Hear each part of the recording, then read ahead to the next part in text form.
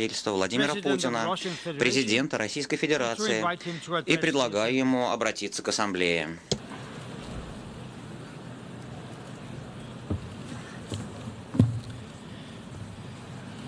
Уважаемый господин председатель, уважаемый господин генеральный секретарь, уважаемые главы государств и правительств, дамы и господа.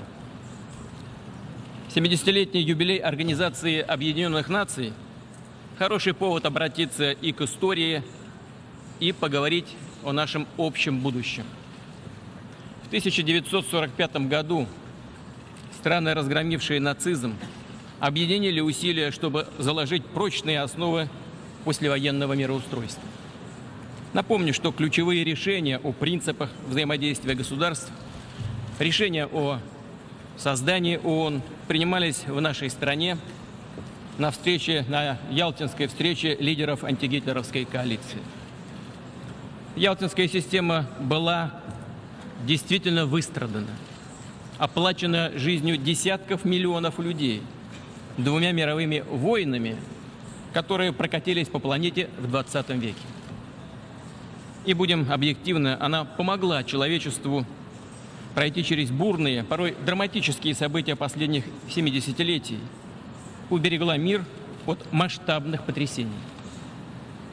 Организация Объединенных Наций, структура которой нет равных по легитимности, представительности и универсальности.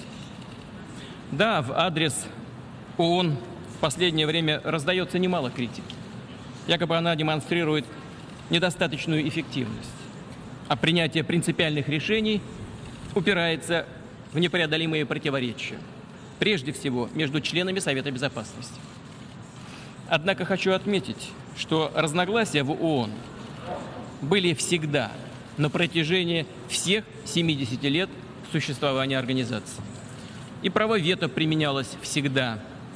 Им пользовались и Соединенные Штаты Америки, и Великобритания, и Франция, и Китай – и Советский Союз, позднее Россия. Это совершенно естественно для столь многоликой и представительной организации. При основании ООН и не предполагалось, что здесь будет царить единомыслие. Суть организации, собственно, и заключается в поиске и выработке компромиссов, а ее сила в учете разных мнений и точек зрения. Обсуждаемые на площадке ООН решения согласовываются в виде резолюций – или не согласовываются. Как говорят дипломаты, проходят или не проходят. И всякие действия любых государств в обход этого порядка нелегитимны и противоречат Уставу Организации Объединенных Наций современному международному праву. Мы не знаем, что... Э, мы все знаем, что после окончания Холодной войны, все это знают, в мире возник единственный центр доминирования. И тогда у тех, кто оказался на вершине этой пирамиды, возник соблазн думать, что если они такие сильные и исключительные, то лучше всех знают, что делать. А следовательно, не нужно считаться и с ООН, которая зачастую вместо того, чтобы автоматически санкционировать, узаконить нужное решение, только мешает, что называется, как у нас говорят, путается под ногами. Пошли разговоры о том, что организация в том виде, как она была создана, устарела, выполнила свою историческую миссию. Конечно, конечно, мир меняется, и ООН должна соответствовать этой естественной трансформации. Россия на основе широкого консенсуса готова к этой работе по дальнейшему развитию ООН со всеми партнерами. Но считаем попытки расшатать авторитет и легитимность ООН крайне опасными – это может привести к обрушению всей архитектуры на международных отношениях. Тогда у нас действительно не останется никаких правил, кроме права сильного. Это будет мир, в котором вместо коллективной работы будет главенствовать эгоизм. Мир, в котором будет все больше диктата и все меньше равноправия, меньше реальной демократии и свободы. Мир, в котором вместо по-настоящему независимых государств будет множиться число фактических протекторатов, управляемых извне территории. Ведь что такое государственный суверенитет, о котором здесь уже коллеги говорили? это прежде всего вопрос свободы, свободного выбора своей судьбы для каждого человека, для народа, для государства. Кстати говоря, уважаемые коллеги, в этом же ряду и вопрос о так называемой легитимности государственной власти. Нельзя играть и манипулировать словами. В международном праве, в международных делах каждый термин должен быть понятен, прозрачен, должен иметь единообразное понимание и единообразно понимаемые критерии. Мы все разные, и к этому нужно относиться с уважением. Никто не обязан подстраиваться под одну модель развития, признанную кем-то раз и навсегда единственно правильной. Всем нам не стоит забывать опыта прошлого. Мы, например, помним и примеры из истории Советского Союза.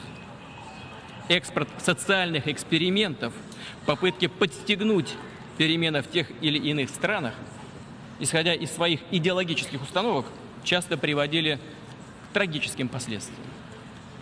Приводили не к прогрессу, а к деградации.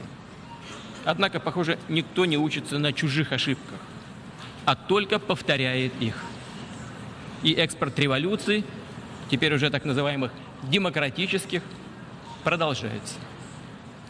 Достаточно посмотреть на ситуацию на Ближнем Востоке и в Северной Африке, о чем говорил предыдущий выступающий. Конечно, политические, социальные проблемы в этом регионе назревали давно. И люди там, конечно, хотели перемен. Но что получилось на деле? Агрессивное внешнее вмешательство привело к тому, что вместо реформ государственные институты, да и сам уклад жизни были просто бесцеремонно разрушены. Вместо торжества демократии и прогресса – насилие, нищета, социальная катастрофа.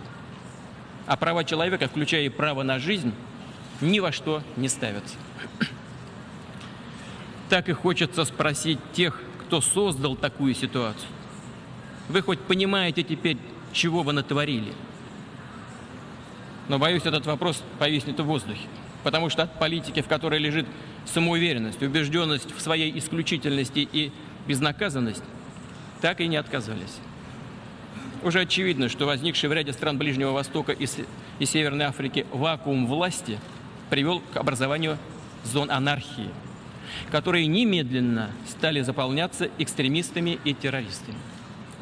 Под знаменами так называемого исламского государства уже воюют десятки тысяч боевиков – в их числе бывшие иракские военнослужащие, которые в результате вторжения в Ирак в 2003 году были выброшены на улицу. Поставщиком рекрутов является и Ливия, чья государственность была разрушена в результате грубого нарушения резолюции 1973 Совбеза ООН. А сейчас ряды радикалов пополняют и члены так называемой умеренной сирийской оппозиции, поддержанной Западом. Их сначала вооружают, обучают, а потом они переходят на сторону так называемого исламского государства. Да и само исламское государство возникло не на пустом месте. Его также поначалу пестовали как орудие против неугодных светских режимов. Создав плацдарм в Сирии и Ираке, исламское государство активно расширяет экспансию на другие регионы. Нацеливается на господство в исламском мире. И не только там – только этими планами явно не ограничиваются. Положение дел более чем опасно. В такой ситуации лицемерно и безответственно выступать с громогласными декларациями об угрозе международного терроризма и при этом закрывать глаза на каналы финансирования и поддержки террористов, в том числе за счет наркобизнеса, нелегальной торговли нефтью, оружием, либо пытаться манипулировать экстремистскими группировками ставить их себе на службу для достижения собственных политических целей. В надежде потом как-нибудь разобраться с ними, а попросту говоря, ликвидировать. Тем, кто действительно так поступает и так думает, хотел бы сказать, уважаемые господа, вы имеете дело, конечно, с очень жестокими людьми, но вовсе не с глупыми и не с примитивными. Они не глупее вас – и еще неизвестно, кто кого использует в своих целях. И последние данные о передаче оружия этой самой умеренной оппозиции террористам – лучшее тому подтверждение. Считаем любые попытки заигрывать с террористами, а тем более вооружать их, не просто недальновидными, а пожароопасными. В результате глобальная террористическая угроза может критически возрасти, охватить новые регионы планеты. Тем более, что в лагерях исламского государства проходят обкатку боевики из многих стран, в том числе из европейских. К сожалению, должен сказать об этом прямо, уважаемые коллеги, и Россия не является здесь исключением. Нельзя допустить, чтобы эти головорезы, которые уже почувствовали запах крови, потом вернулись к себе домой и там продолжили свое черное дело. Мы этого не хотим. Ведь этого никто не хочет, не так ли?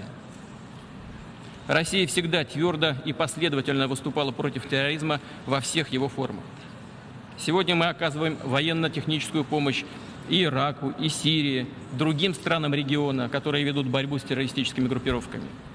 Считаем огромной ошибкой отказ от сотрудничества с сирийскими властями, правительственной армией, с теми, кто мужественно лицом к лицу сражается с террором.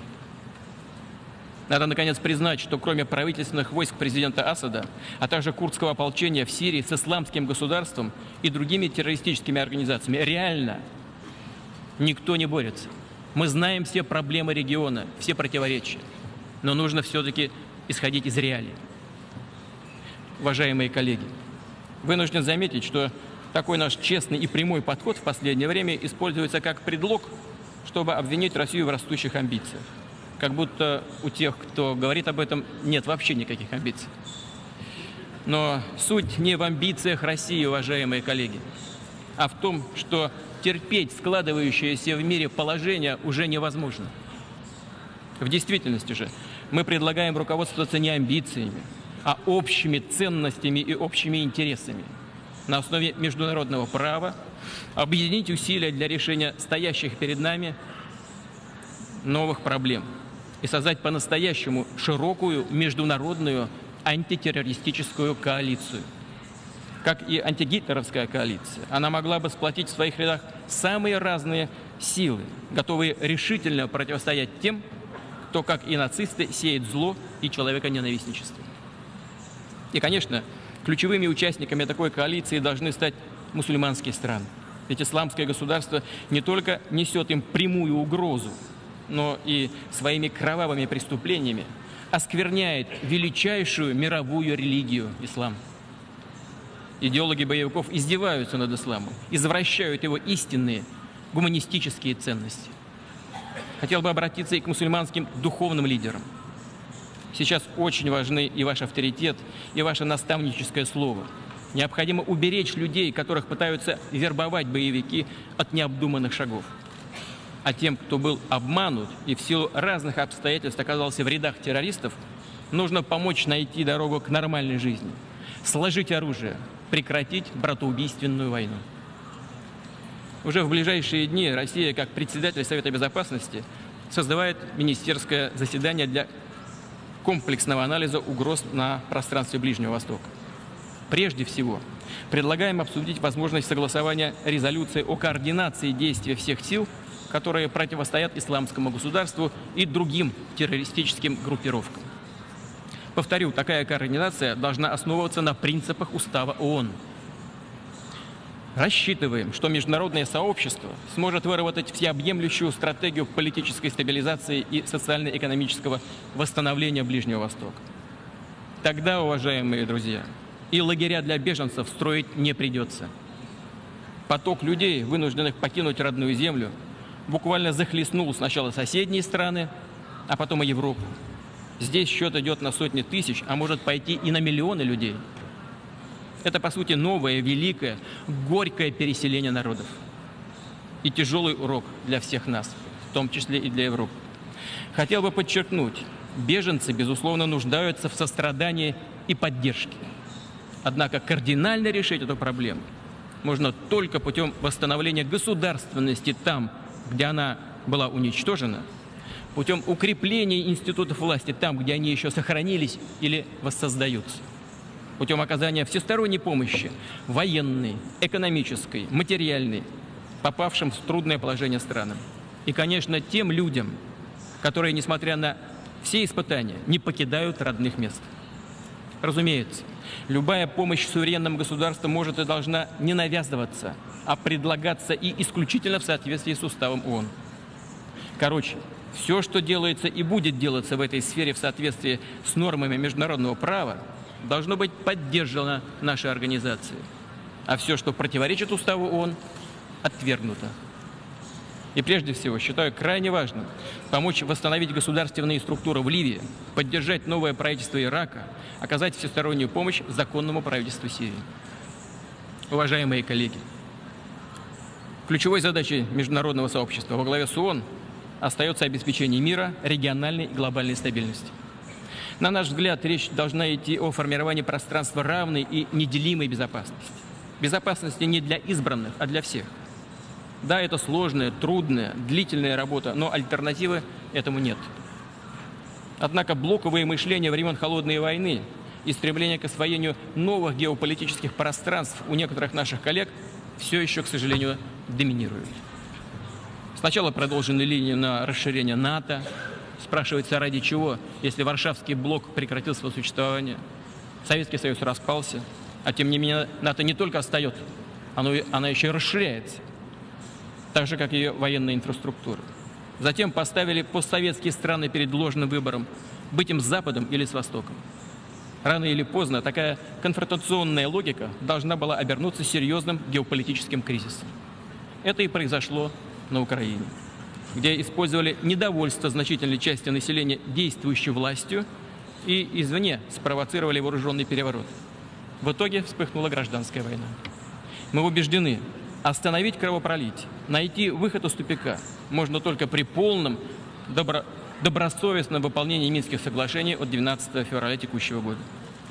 Угрозами, силой оружия целостность Украины не обеспечить а нужно это сделать. Нужен реальный учет интересов и прав людей в Донбассе, уважение к их выбору. Согласование с ними, как это и предусмотрено Минскими договоренностями, ключевых элементов политического устройства государства. В этом залог того, что Украина будет развиваться как цивилизованное государство, как важнейшее связующее звено в строительстве общего пространства безопасности и экономического сотрудничества как в Европе, так и в Евразии. Дамы и господа, не случайно сказал сейчас об общем пространстве экономического сотрудничества. Еще недавно казалось, что в экономике, где действуют объективные рыночные законы, мы научимся обходиться без разделительных линий. Будем действовать на основе прозрачных, совместно выработанных правил. В том числе принципов ВТО, которые подразумевают свободу торговли, инвестиций, открытую конкуренцию.